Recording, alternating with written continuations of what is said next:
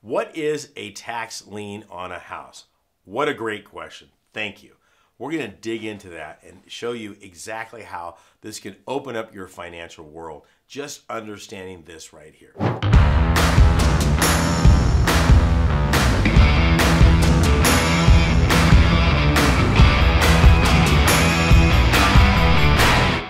In this video, I'll show you how with a very small amount of money, you can blow your retirement account through the ceiling and retire on that island with that cocktail of, of your dream, so to speak. We're also going to talk about how it's necessary to do the right research but not overcomplicate this. We can keep this really simple and doing it from the comfort of your own home.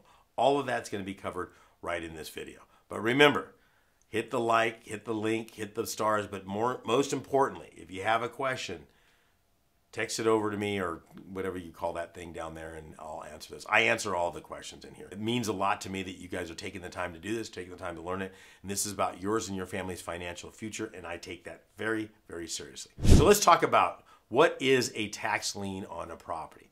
Very simple, okay? Let's talk about the history here. Tax lien certificates on properties for delinquent property taxes.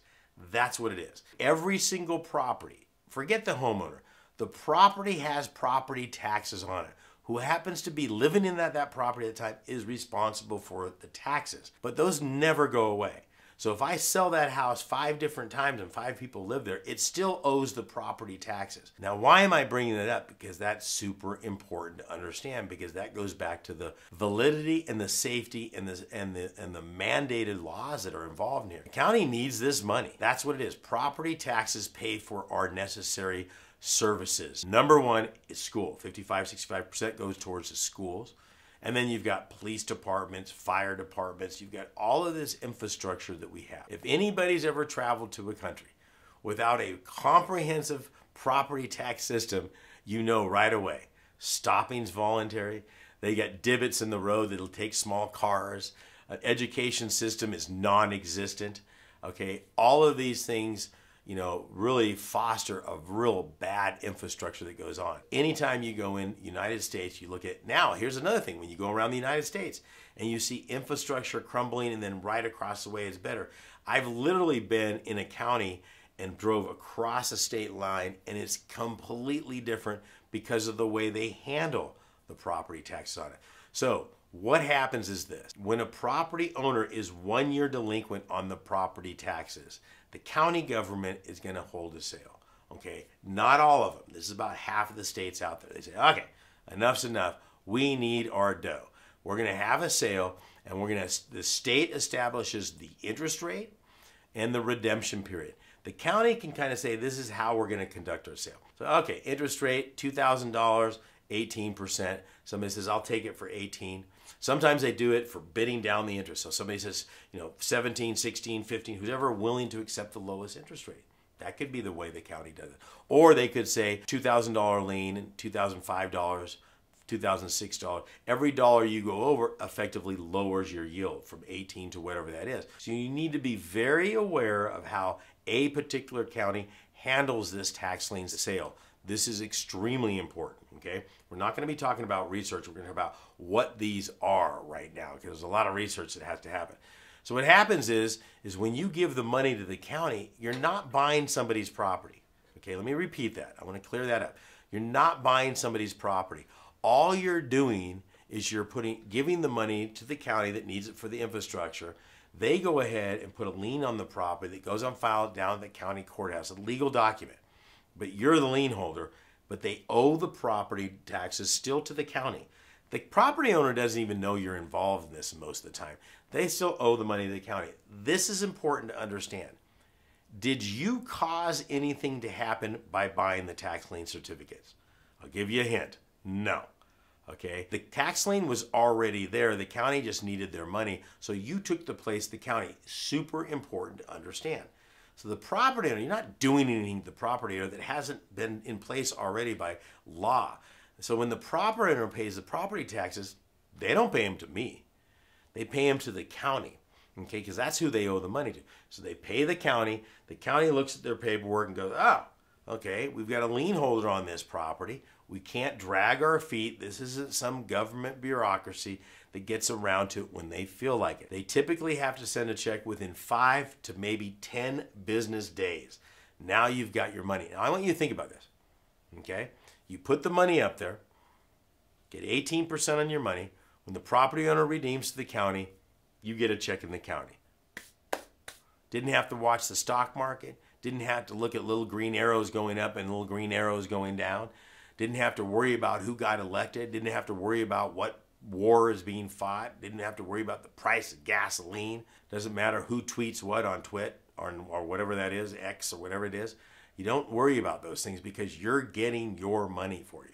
Now, I know what some of you are thinking. You're thinking, yeah, that's great. What if they don't pay?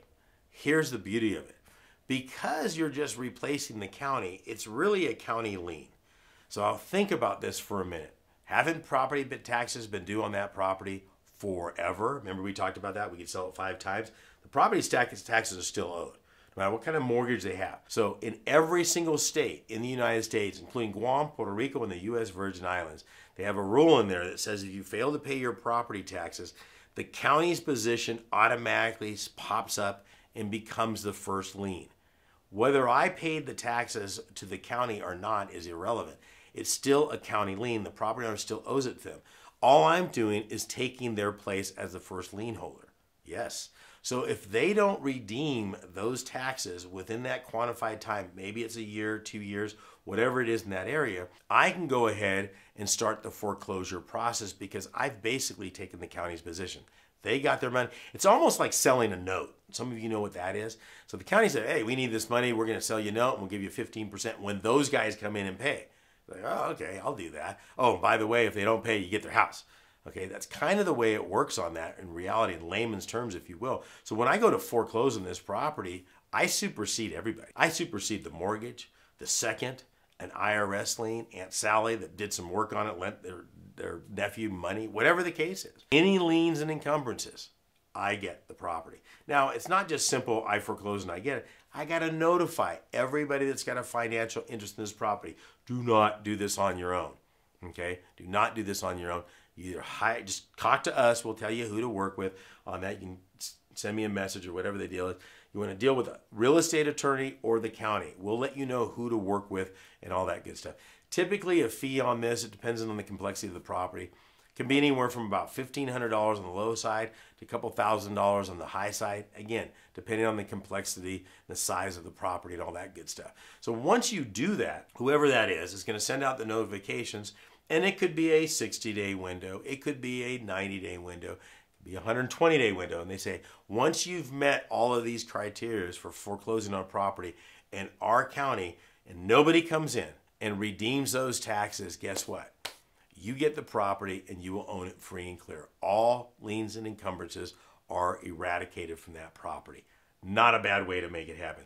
This is why I can say, using this strategy, you can find properties at 4 to 10% of fair market value and own it free and clear with no liens and encumbrances. That's what makes this so beautiful. Here's the other nice thing about it. You can use your retirement money to do this. Remember I told you at the very beginning, stick around the end. This is what it is.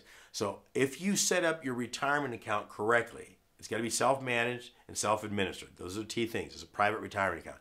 If you do this correctly, I can use that money to buy the tax lien certificates.